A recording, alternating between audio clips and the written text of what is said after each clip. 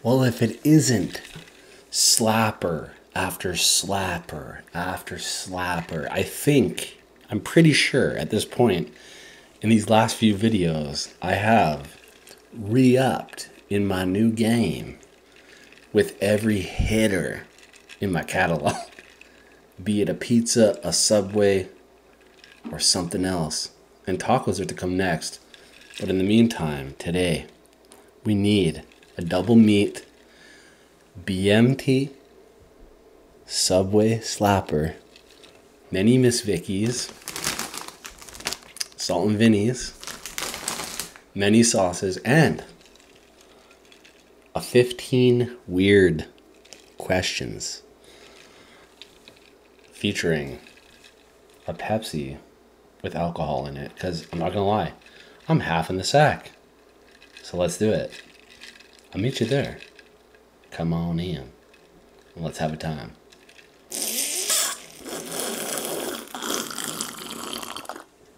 All right, yo, what's really good with y'all? Like I said in the intro, it's a bunch of things, couple drinks under the inf. It's all good, but Subway, slapper, chip, slapper, questions, slapper. So let's get to it. Here's the thing. First things first, before questions, I just need to do one thing with y'all is chipping a sandwich. We need to do this. We need to together adhesive glue some ranch, right? Because we know that these corporations, even though you requested many sauces, it's not saucy enough for a saucy guy. That's Right? So ranch, hidden val, a little bit of hot sizzy, just Frank's, Frank's Red Hot, and then on each sandwich. It isn't a Subway sandwich unless you're including the crunch of the chips. Now these are my own procurement. I procured these uh, at a store uh, that wasn't Subway prior to the Subway coming to me. And that's why I have so many of them. They're not in a small bag.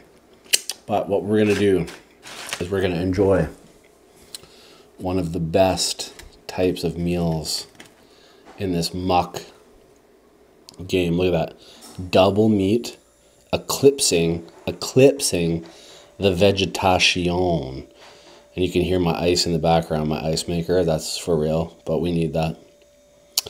And uh, we're to smash a delicious sub. And we're also going to answer 15 off kilter questions from the internet. So, have you ever lied to a priest, preacher, or holy man?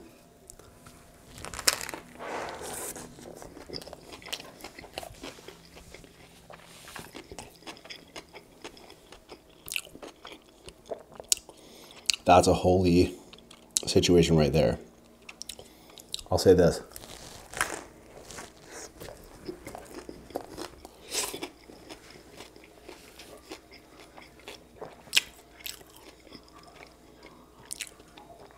One hundred percent, no, I haven't because I am not of the church.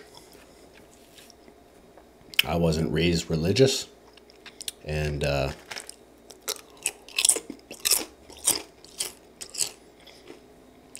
I've never been in a situation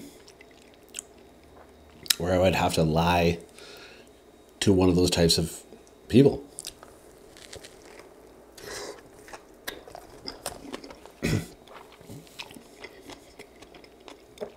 Question two Have you ever borrowed something and just haven't returned it yet? In commas, is it considered stealing if you plan on returning it?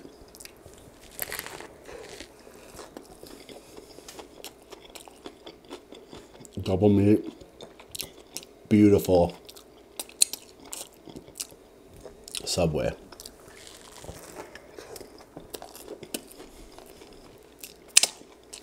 I'll say this. I've never borrowed something with the intent to not return it. Because that to me equals like manipulative stealing, which I would never do.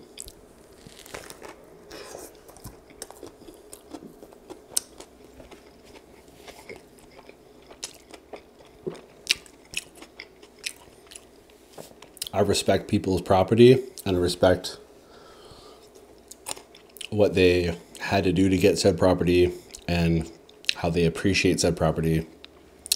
And uh, how my taking of their property would ultimately negatively affect their energy like they would be pissed off i'll say this. In the brackets is it considered stealing if you plan to, on returning it? I'll say this. Any person who ever smoked weed or was like a burnout you didn't plan it and you always want to return it, but you never anticipated stealing the lighter in the circle. When you're smoking weed in the circle, the lighter goes around, and for some reason, the person is like, I lost my lighter again. And you're like, oh, that sucks. And they're like, yeah, I wonder who has it. And then you go in your pocket and you're like, oh, I have it because you unconsciously, subconsciously just took it at random. So you return it. That's, that's how I feel about this question.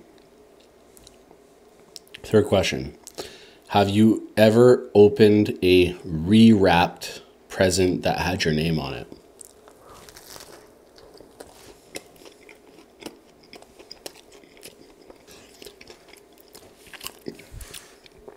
I've never done that.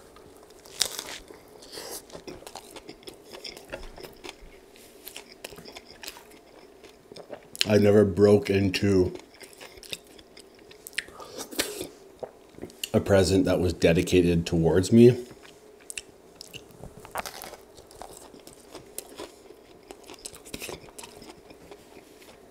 And come the day of supposed to open, you know, situation, reopened it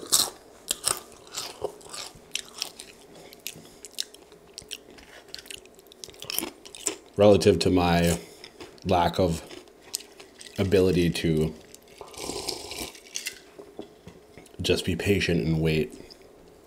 I'd rather open it, I would always rather open it fresh and have the excitement in front of the person who got it from me because that's like a wholesome moment in life. The moment of somebody who thought about you who you are, what you would appreciate, and then you get to explode with energy and they get to feel that through them because they thought deeply about you. I would never compromise that energy because that is one of the most special things in life of giving a gift and that gift being exactly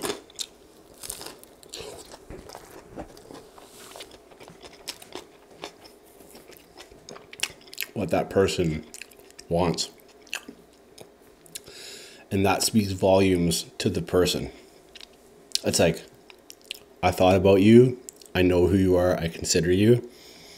And then it's a validation. Their explosive response to the gift is a valid a validated return of like you get me and thank you so much for understanding me. So, no, I have never done that.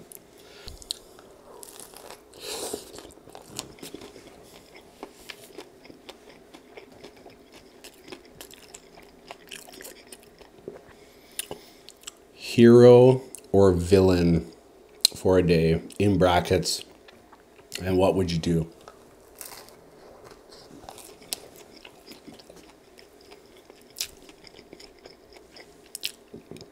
To be honest, I choose villain because my nature as a human is to be more hero. I gravitate towards the positive.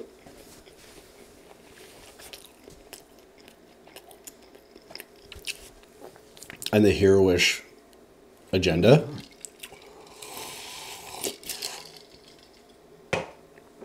So therefore, I want to understand. I want to understand the villain mindset. So that's why I would choose villain because I want to understand the villain mindset as someone who defaults to hero and positivity and wants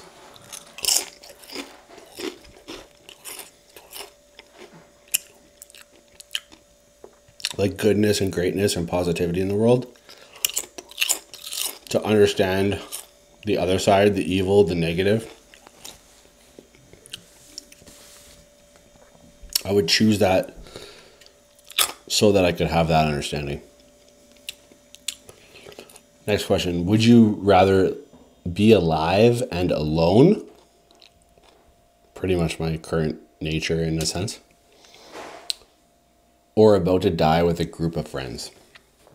100% alive and alone because friends, especially if I'm, if I'm about to die, it doesn't matter if you're alone or with friends or whoever when you're about to die.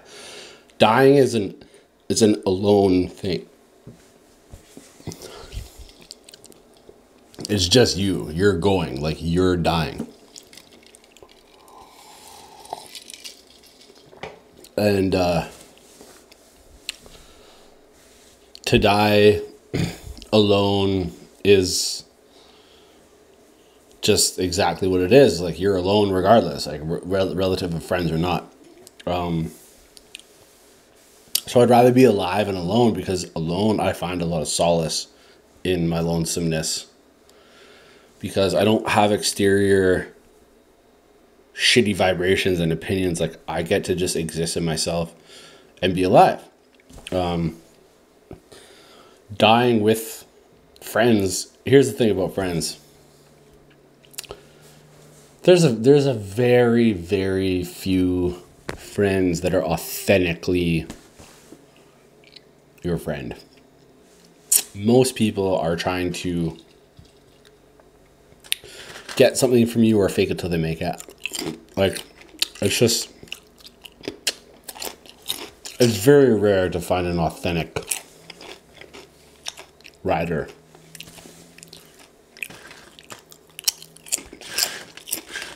In this world that we live in. So, there's that. Next question. Whenever you ask someone how they've been doing? Do you really want them to tell you the truth? Super interesting and funny that that came up in these questions because I didn't even look in these questions beyond the first two. I just knew that the first two felt energetically dope to me. So this is why I made this video. Um, that's cool that that question exists. Some people, no. I'll be honest. Some people, it just, it's formalities. You know, some people in your life, you have to maintain with formalities like that. But some people you truly care about. And that question is very interesting because I just had a message with a friend someone I consider like a soulmate to me uh, that I met actually through YouTube. They found me for through through YouTube, and we hung out in real life a bunch of times, and uh, we connect. We've talked a lot.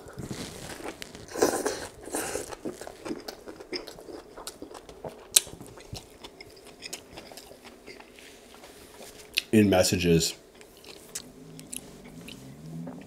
And uh,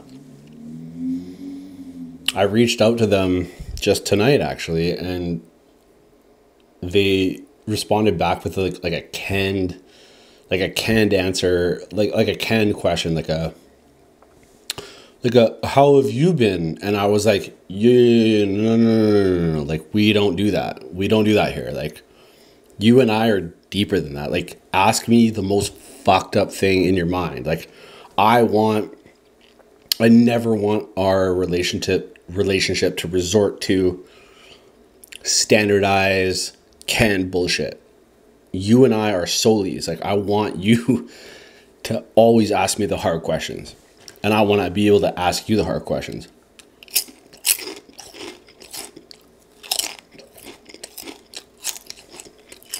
And when I said that,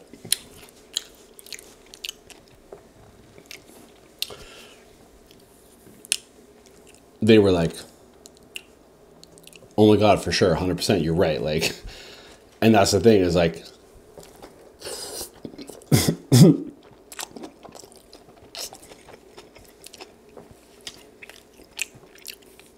relative to that question of like how you've been doing, like that's a canned question. First and foremost, I don't even want the canned question, but if you're gonna ask me a canned question, I don't want a canned answer. I want a fucking authentic, real answer. I want to really know. I want to really know. Hey man, thanks for asking. I'm just barely surviving.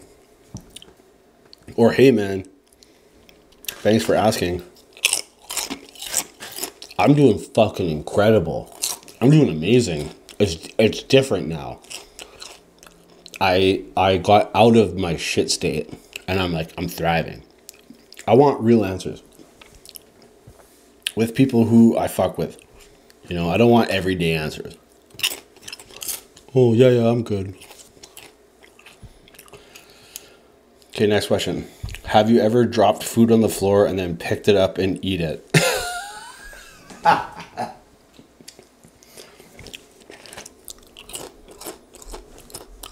Pretty sure I've done it on this channel. What do you think? Of course, I believe in the five second rule. Next question. Ever had to run from the police? Yes, I have.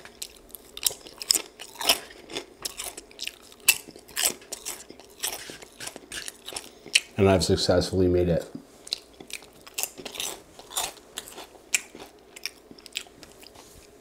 Back in the day. Egging cars. When I was in my teens. Would you rather know when you're going to die or how you're going to die.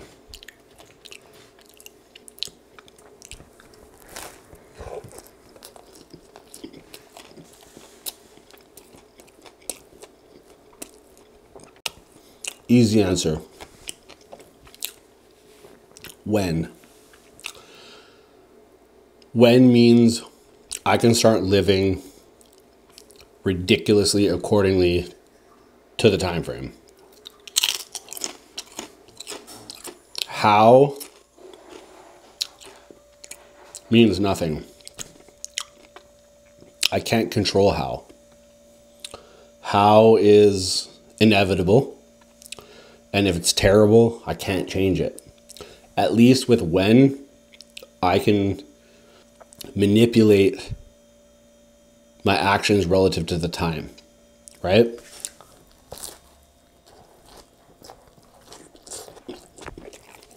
how the thing with how is like when is how how could be it's still a mystery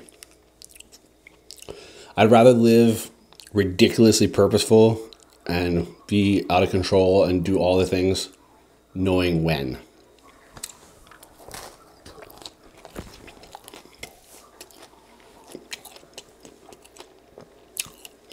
and act accordingly intentionally up to that point. Are you keeping a really big secret from someone?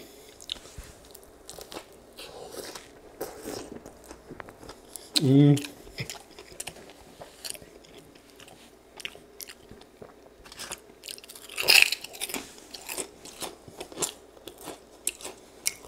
I want to say no.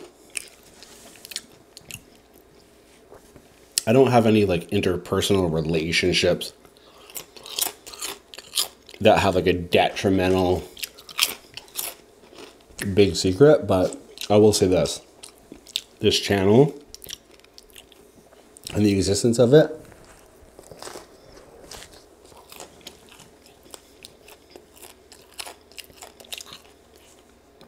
is kind of a big secret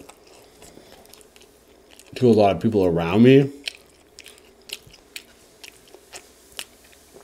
Like familial ties.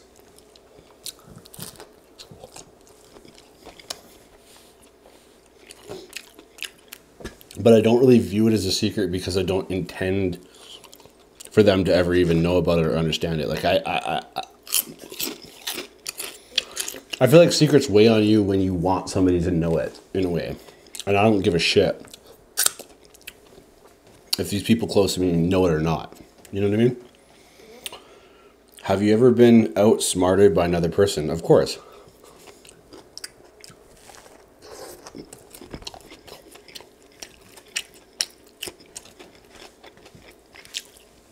That's just part of life. No direct example, but 100%.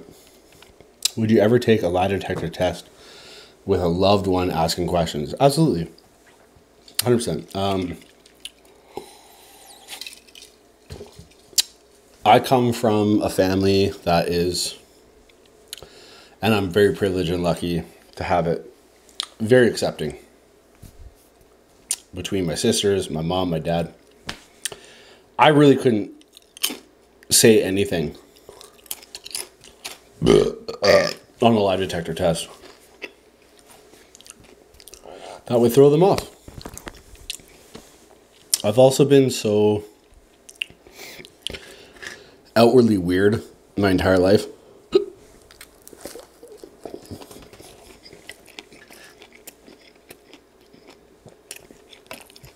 that like almost nothing would surprise them. You know what I mean? and they know who I am. If I said something crazy weird about myself that was like really under the surface, I think they would recognize it in themselves to be like, yeah, I'm fucked up too, kind of. But I wouldn't say it out loud. So that's what it is. Would you rather ask a question someone doesn't want to answer or give an answer to someone that doesn't want to hear.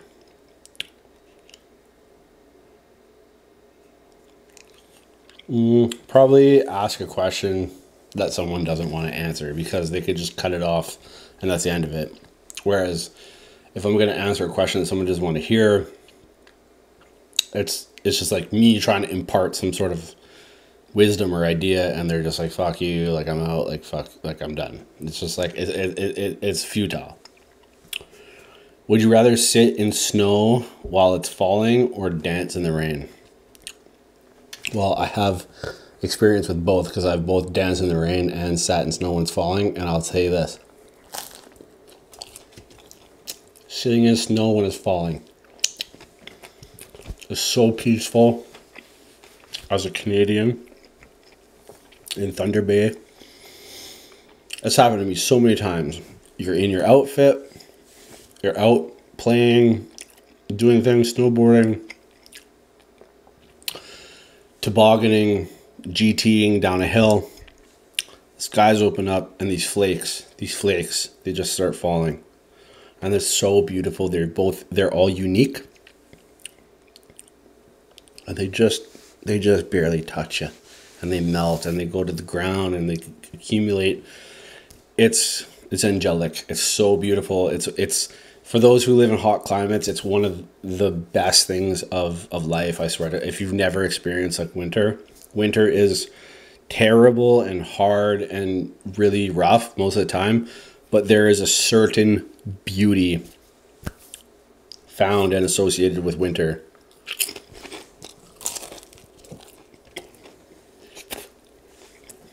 On a fairly warm, you know, minus seven kind of night, it's snowing and it's so soft.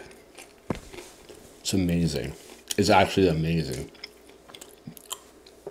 Rain to me just feels kind of like uh, it's like it's abrasive. It hurts.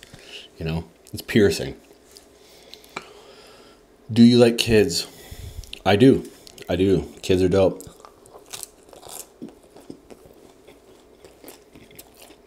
Not my own. Other ones that are cool and well adjusted and not shittily behaved. Those kids I, I fuck with. Do you want to be buried or cremated? I've always said cremated. Because I never believed in standard God. And I just thought to myself, burn my fucking body and if there's anything in here that will transcend it doesn't matter if my body's here or not but as time has gone on i want to say i almost want to be buried because i want this physical structure to be reincorporated into the matter of the earth i don't want it to be preserved though like i don't want to be buried in a casket i want to be buried I just want my body to just get thrown in in in soil. That's like not even deep.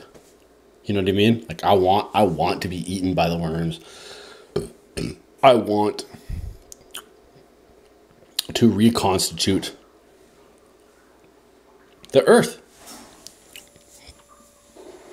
Cuz I'm I'm part I'm I'm particle matter of this earth. Are you afraid of the dark? Fuck no. I used to be as a kid, but not anymore.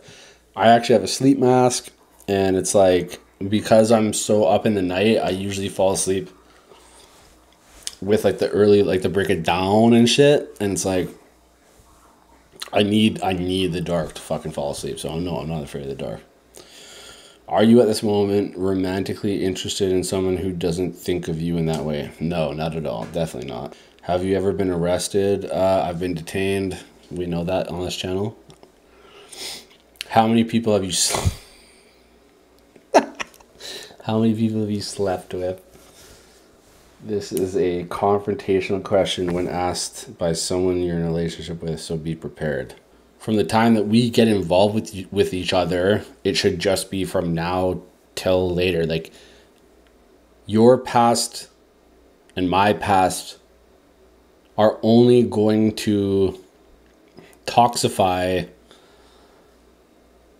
our minds. Like so it's like when I get in new relationships or relationship or whatever, it's like I don't want to know shit about your past and I hope that you don't want to know about mine because that's digging into a territory where it's um it's just messing with your perception. It's like how about we just operate from our newness together from here on out and see where this goes because we are currently this person I hate when people like, I want to know about your past. And I'm like, I don't want to tell you about my past. Like, I don't give a, my past is my, it's back there. It doesn't matter. Like, let's just move forward together in this and see if it is dope. Like, it's so stupid that I hate, I hated that shit. So, anyways, um, I've been asked that how many people I've slept with, and it's a lot. It's un, it's it's uncountable to be honest. Uh, I I've I've even sat and thought about it, like tried to think about it, and I start losing names. Like I because there's repeat names. There's doubles of of people, and it's just like I can't. I don't know the number, and I don't. It's I don't give a fuck that it's a lot. I, I like that it's a lot. I think it's a it's, it's like it's great. It's a learning experience, and and it's cool. Like it's it is what it is. It's fine with me. Um, so yeah. What would you do after your boss fires you? Depends on the situation. If it was like new or old, or there was like tumultuous energy building up. Because I've been fired by a lot of bosses, and sometimes it was just like, it was literally like, thank you. I'm so glad to not even work here anymore. I wish you the best. And then some bosses, it was like, fuck you, you're a fucking loser. I hate you. You're a piece of shit. And also, thank you because I don't want to work here anymore. And I haven't wanted to work here for a long time. So some of them got my grace, and some of them got my distaste. And the distaste ones, I'm not gonna lie, felt really the best.